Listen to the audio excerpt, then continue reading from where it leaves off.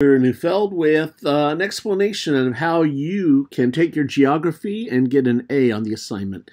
I'm going to use Geography 20 as one example, but it applies to all the other geography exercises you get now on Google. First of all, usually I send you the blank list and I want you to uh, insert the list of locations. In this case, it is 17 locations for Geography 20. Now, as usual, you go to my website I want you to type in the list of countries yourself. I don't want to give them to you. Why? Well, we've talked about this in class.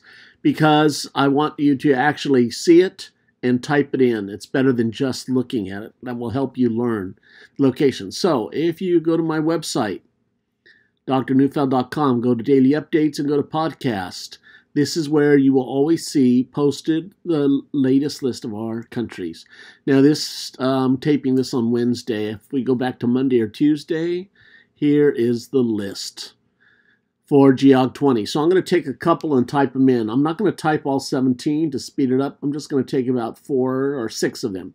So first, Libya and Algeria. So now I go back to the homework exercise and I type in Libya and Algeria. Next to Black Sea and England. So I will go to Black Sea and England. And then I'll take five and six. Five and six is Turkey and France. Turkey and France. Now there's 17 this week.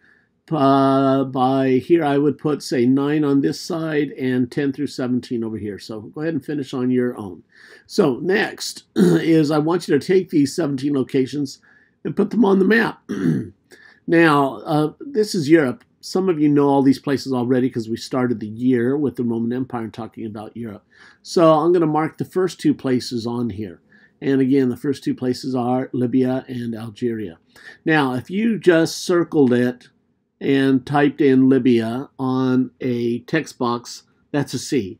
I want you to do it in color, uh, and that's what it takes to get a name. There's a couple tools that you can use. So if you go up here, to uh, curve. This is where you can outline the country and it will uh, fill it in in a particular color that you choose. So we'll do one in curve. But first of all, we have to go to, again, the first is Libya. Some of you may not remember where Libya is. So I am going to go to maps.google.com and I'm going to type Libya and it reminds us where Libya is. Going to back up a little bit. Ah, Libya is in Africa. Now, some of you remember Male, M A L E. That's how we remember the top four places in Africa. So, Libya, going back to our map then. This is the one that's Libya. So, I'm going to take the curve and I'm going to stop, start here and I'm just going to try to draw. Oops went too close. I'm going to have to delete this and start it again. So curve.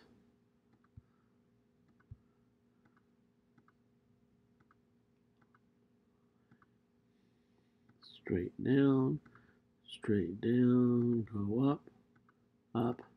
Ah, and there's Libya. Now it's in a light gray. If you choose here, the bucket, you can put it in whatever color you like. So that is Libya. Now remember, I'd like for you to put the text box, the name of the country in a text box. So I'm going to go to text box. I'm going to create it here and type in Libya. Remember, capitalization and spelling is important. In fact, I'm going to put it in bold so it stands out. I'm going to make the box even smaller so it fits. Now I'm going to grab it by the four arrows and bring it down here. So there is Libya. Okay, now, next one is Algeria. Where is Algeria? Well, let's go back to Google Maps.com.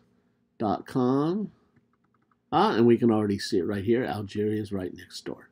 So going back here, this one will be Algeria. Now, you could either do it uh, in a line where the color fills inside, or you could just do a boundary in thick color. So let's do it that way this time. That will be the scribble. Okay, so now I'm going to start here. And you hold down the mouse while you are drawing the outline. That's how you use scribble.